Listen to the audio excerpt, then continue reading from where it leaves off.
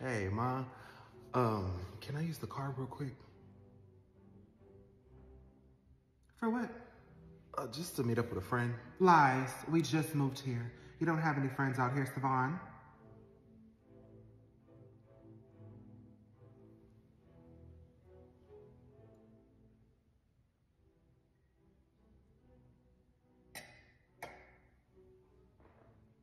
Was there anything else you needed? You know what? I'm I'm gonna just take a lift. To where? Where are you going? You don't know anybody out here, Savon. Everything you need is inside this house. So where are you taking a lift to?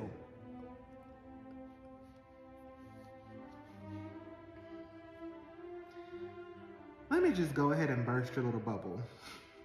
I heard that you've been trying to get your little bitch Erica here. And I'm assuming you need the car to go pick her up from the airport.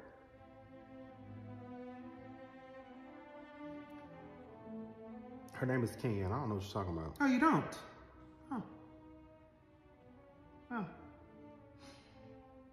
I intercepted her flight that was supposed to land here in the next 30 minutes.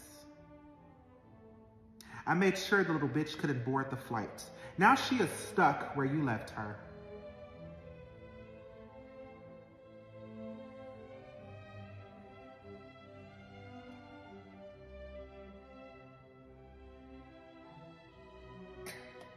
You were going to bring that bitch in my home and not tell me, Savon? Ma, she is carrying your second grandchild. I don't give a fuck. You don't want Versace around, so Kenya won't be coming around either. Tired of dealing with your hoes. You know how many bitches I've dealt with last year because of you? Do you know how many abortions I have paid for because of you? Mom, this is different. Me and Kenya are engaged. Oh, then go live with her. I can't. She stays with her parents. Interesting.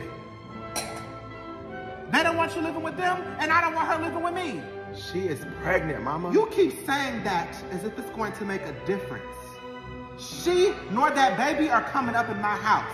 You are more than welcome to go see her or find a way to live with her. But your shit is no longer coming in my house, Savon. I'm tired. Call me a monster.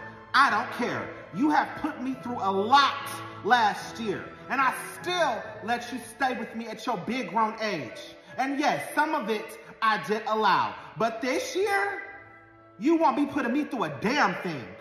I will kick you out first.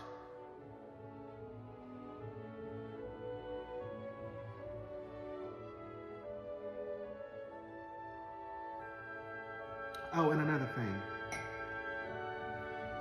If you put your hands on my child again, I will put mine on you. Kyrie swung first. I don't give a shit. You're the oldest, and I hold you to a higher standard. Keep your hands off of him. Get out of my kitchen.